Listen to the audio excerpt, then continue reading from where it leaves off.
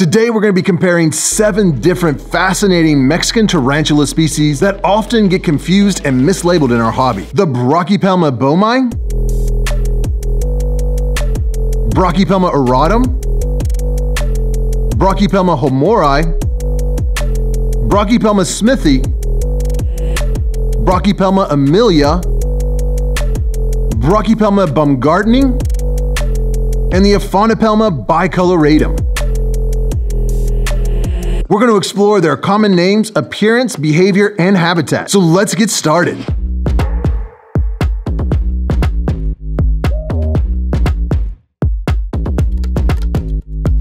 Now, the Brachypelma genus is known for their vibrant colors and calm nature, but is also notorious for having some pretty irritating urticating hairs. But their common names can be very confusing and they often get switched around, and you're gonna see why right now. First off is the Brachypelma boehmei, commonly known as the Mexican fire leg tarantula.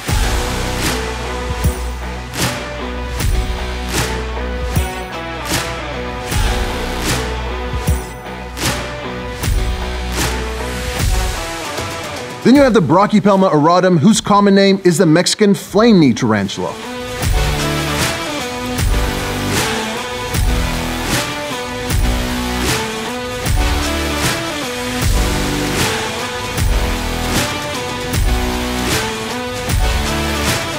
Confuse things even more, Brachypelma hamorii is known commonly as the Mexican red knee tarantula.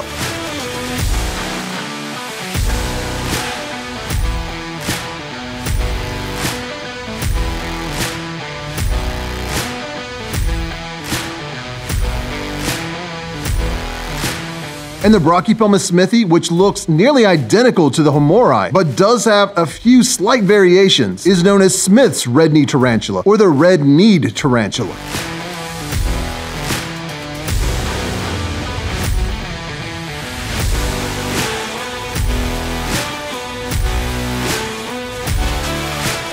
And of course, we have the Brachypelma emilia, which is known as the Mexican redleg,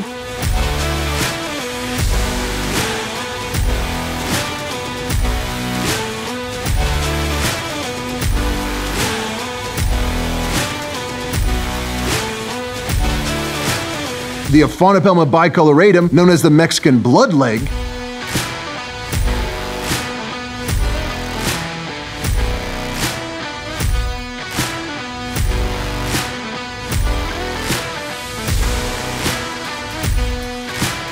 And finally, the Brachypelma baumgarteni, whose common name isn't as confusing, but when you see what they look like, you can tell why it's such a mix-up, but they're known as the Mexican orange beauty.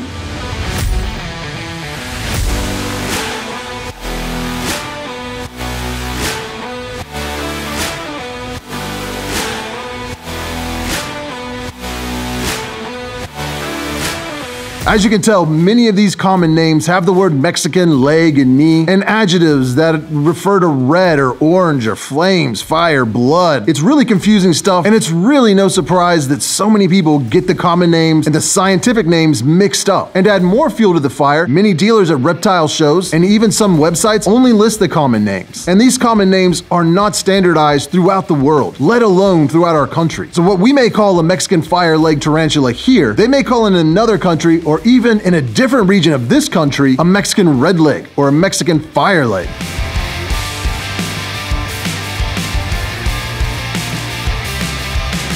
There's no international, worldwide, global database that standardizes all these common names. A lot of the times, the common names are created by the people that breed and sell the spiders, or by the people that live in the area these spiders are found, which is a great example of why it is so important to refer and label your tarantulas using the scientific binomial names, because common names just are not that reliable and can create a lot of confusion. But all seven of these spiders have very similar colors and patterns, with different shades of black, orange, and red, but hopefully Hopefully this video will help you distinguish which species is which and really enforce the importance of using scientific names in your collection in addition to common names. So let's take a look at some of the differences in physical appearance. First off, let's look at the Brachypelma auratum. It has a black body with striking red or orange flame-like bands on their knees, which is how they got their Mexican flame knee common name. They primarily inhabit the Balsas dry forest on the inland side of the Sierra Madre del Sur in Mexico.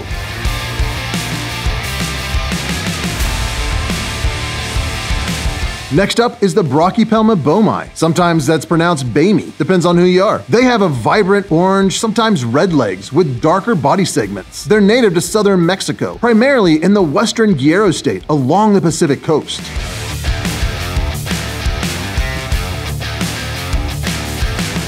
Now let's look at the Brachypelma baumgarteni. This spider is very similar in appearance to the Brachypelma boehmei, but with slightly lighter orange bands and darker overall coloration. The species is often confused with the boehmei, but it is more vibrantly orange and has a more subtle difference in its leg markings. You really got to get them side by side to see the difference, as it can be pretty tricky if you only see one of them in person.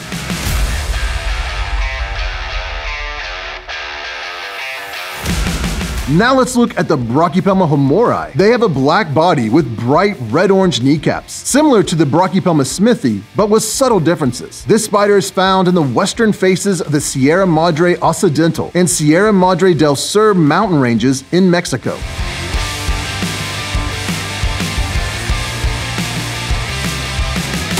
Today's video is sponsored by The Spider Shoppe. They have one of the largest varieties of tarantulas available for sale on the internet. Plus, their live arrival guarantee and customer service has revolutionized the industry, with many other dealers following their lead. I have gone on multiple trips with the owner, Tyler, and have gotten to know him pretty well. And I can attest that his passion for tarantulas and other exotic animals is genuine. Not to mention his commitment to ethical keeping and breeding practices is an integral part of his business. If you use the link in the description of my videos or in the pinned comment of this video, you will save 10% on all your orders at spidershoppe.com and a small commission will come back to help support this channel. So check out their wide selection of amazing tarantula species at very competitive prices. And rest assured that your spiders will be shipped safely while being covered by one of the best live arrival guarantees available. With over 400 five-star reviews on Google and Facebook, you can rest assured you will be receiving some of the healthiest tarantulas in the hobby. They recently listed some beautiful Mexican tarantula species, many confirmed females, that will make great great additions to your collection. So use my link down below to check out their huge variety of tarantulas and save 10% on all your purchases at spidershoppe.com. Visually, it's next to impossible to distinguish a hamorii from a smithi, but that's what we're going to try to do right now. So let's look at the Brachypelma smithi. The Brachypelma smithi and the Brachypelma hamorii are both found along the Pacific coast of Mexico, but they are on opposite sides of the Balsas River Basin. B. smithi is found to the south in the state of Guerrero, while the B. hamorii is found in the north. The two species have very similar color patterns. When viewed from above, the chelicerae of the B. has two brownish-pink bands on a grayish background, but that is not visible on all individuals. The Brachypelma smithi lacks these bands. Mature males of the two species can be distinguished by the shape of their palpal bulb. While mature females of the B. smithi can be identified by the base plate of the spermatheca, which is divided and subtriangular, rather than elliptical as in the B. hamorii. Also, the ventral face of the spermatheca is striated rather than smooth. Brachypelma annitha was described as a separate species in 1997, but it is now considered to be Brachypelma smithi as well. Now how is that for confusing? Then we have the Brachypelma emilia. This species has distinctive red-orange legs with a more solid black body compared to the other Brachypelma species. But what really makes the B. emilia easily distinguishable from the other tarantulas on this list is the black triangle that they have on their carapace. They may look very similar to a lot of these other red Mexican species, but that black triangle is always a dead giveaway.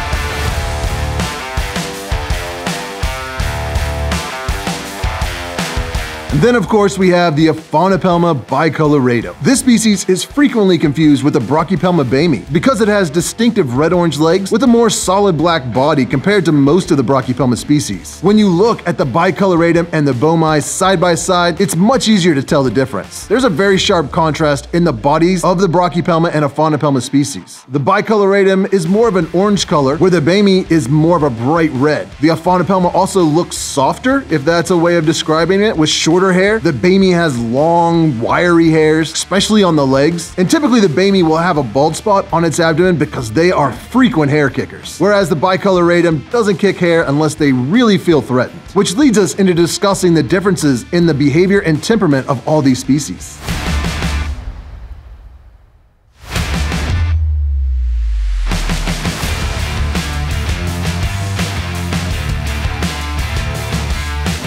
The Auratum, Hamorii, and Emilia species are generally calm, which means they're pretty safe for handling. They are known for their slow movements and their willingness to stay out in the open. So they're a great display species, but also a good tarantula to take out and show your friends. While on the other hand, the Boehmei and the Baumgarteni are notorious hair kickers, and the type of urticating hairs that Brachypelmas possess can be very irritating to humans. They're beautiful tarantulas that are usually out on display, but I would never suggest attempting to handle them. Now, the Aphonopelma bicoloratum is a different beast altogether. They will spend weeks and sometimes months buried down in their burrow, but when they are out, they typically stay out on display for long periods of time. They are a little smaller in size, slower to grow, but also a lot slower in their movements.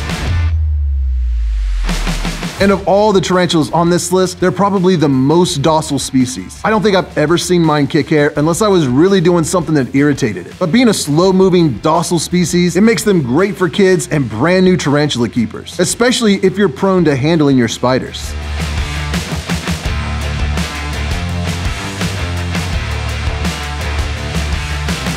So if you're looking for a tarantula that's out on display most of the time and that you can view moving around, I would definitely say that describes the Brachypelma species the best. But if you're looking for a docile, slow-moving tarantula that you don't have to worry about urticating hairs as much, and you don't mind if they spend some time in their burrow, then the Aphonopelma bicoloratum would be the species for you. Now let's talk briefly about their geographic distribution and habitat.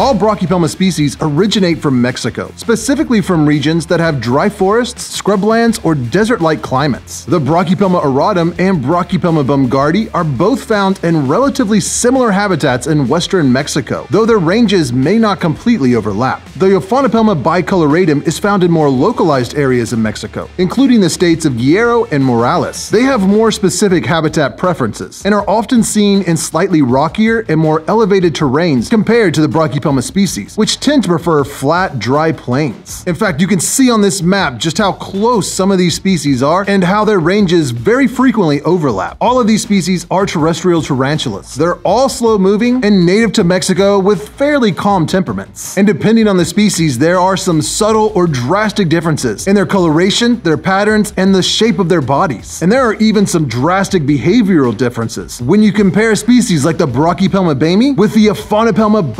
while the Boehmei may almost always be out on display, defensive and quick to kick hairs, the Aphonopelma bicoloratum is a lot more reclusive and docile. Each tarantula has its unique features, from the bold and colorful Brachypelma species to the subtle yet striking Aphonopelma bicoloratum. Understanding these differences can really help you choose the best species that suits your preferences. So before buying any tarantula, make sure to do your research and check out my care videos for these species for a lot more in-depth information. I will link down below in the description. Even though a lot of these species have very similar common names, their appearance, their temperament, and the environment in which they live can be drastically different. So hopefully this video has helped you to be able to distinguish the differences between these species. If you'd like to see more videos about these amazing red tarantulas, I will link a top 10 list right here. And if you want to see some of the tarantula nature documentaries I've made, I will put that right here. As always, I appreciate you watching. Subscribe if you want to see more. Thanks for buying Tarantula Collective merchandise, and I will see you next Tuesday. These tarantulas have a more specific habit. Shit.